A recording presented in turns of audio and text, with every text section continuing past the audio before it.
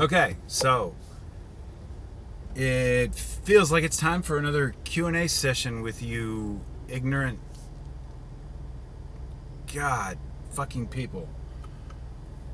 And since the convention is fucking wrapping up, it's going to be about Trump this time. And this is directed toward those of you who are diehard fucking Trump sycophants. And the question, the first question is what is one policy statement that you have heard this man or his team iterate that is something that is within the purview of a president to enact and enforce unilaterally that you have heard stated that sold you on the package of goods he's trying to sell. And it needs to be uh, concrete and measurable. These are these are these are important terms here because if any one of you motherfuckers says he's gonna make America great again, eh, I'll fucking find you and kick you in the fucking taint. That's not a concrete and measurable thing, you fuck. And if your reasoning is uh, he's not Hillary, then shut the fuck up.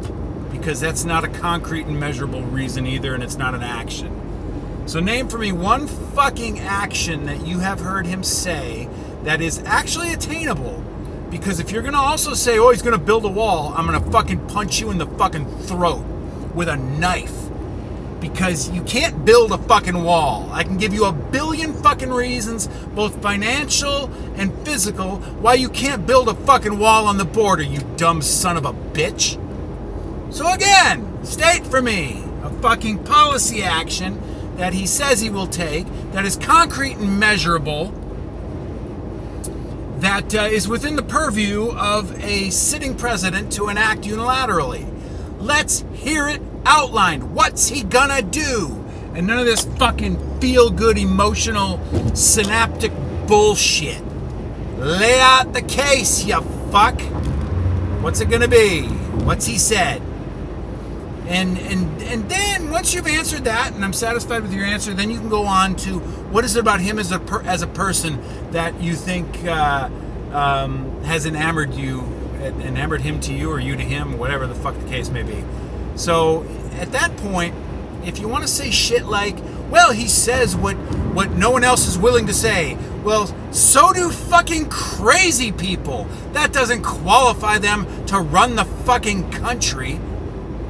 You're going to say shit like that? That's fine. I'm willing to hear it after you lay out for me the concrete and measurable case of a policy position that can be enacted by a president unilaterally.